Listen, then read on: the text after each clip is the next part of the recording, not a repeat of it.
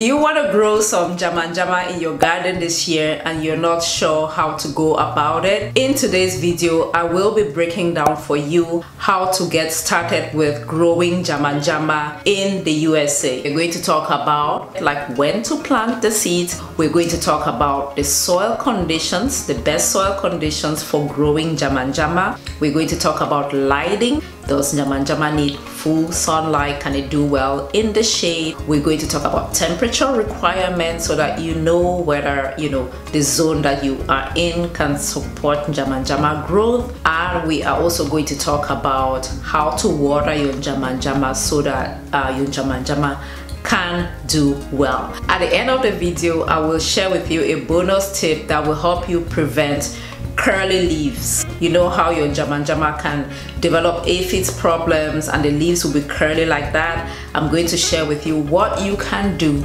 to prevent curly leaves for your country jama.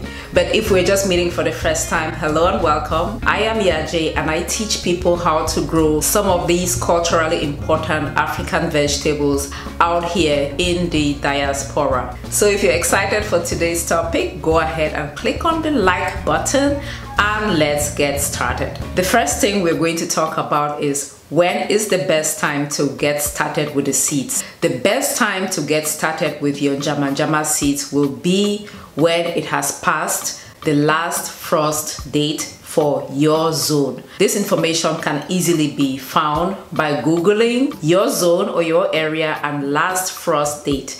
The last frost date is the last time that the temperature will go down to freezing. If you do take your seeds outside when it has not passed this last frost date and then all of a sudden you get winter-like weather, it is either going to kill your seedlings or your seeds might not germinate well. If you are in zone 9A, right around the middle of March is a good time. Around March the 15th or between, you know, March the 10th and March the 20th will be per the perfect time to get um, started with your Njama Njama seeds outdoors.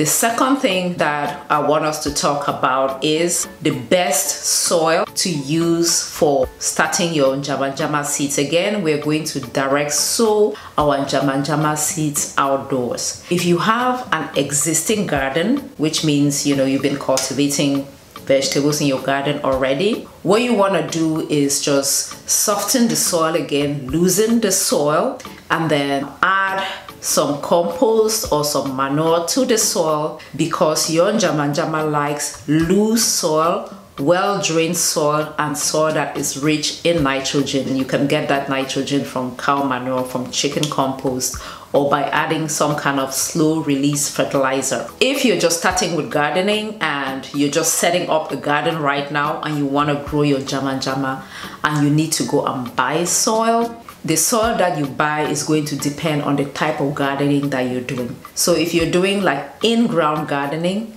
and you go to buy soil, buy soil for in-ground gardening. It's going to say that on the bag of soil. If you're doing raised bed gardening, which just means you have a containing device like wood or like cinder blocks, buy soil for raised bed gardening. Again, it's going to say that on the label. I get asked this question so many times. The third thing is the best lighting conditions for growing Njama Njama. Will the Njama Njama do well in a shaded area or does it need full sun? So Njama Njama can tolerate the shade, but it likes full sun. And by full sun, we're talking about an area that gets at least six hours of direct sunlight in a day. But if you have an area that does not get that much sun, it can still grow, but it will not do as well as when you have like full sunlight. The fourth thing I want us to talk about is like the best temperature for growing njama njama. Again, it is a tropical vegetable and down there in the tropics it is usually warm. We don't get temperatures dropping to freezing. And so njama njama will do well when it is warm.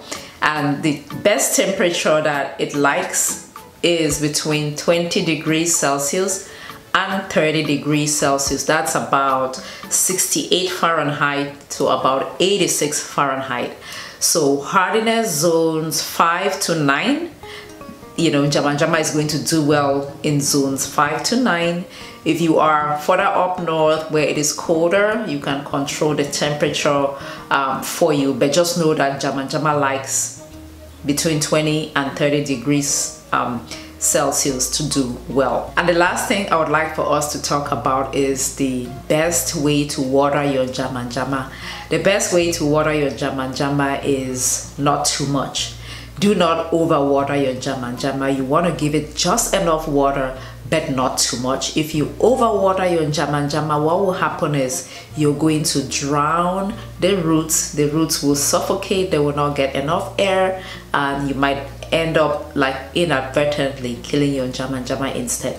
So water regularly, maybe every other day, just give it enough water and then wait and then give it enough water. So it needs consistent watering but not over watering. Now here's your bonus tip and the bonus tip is about preventing curly leaves in your Njama Njama. The curly leaf issue usually is because you have an ant problem in your garden.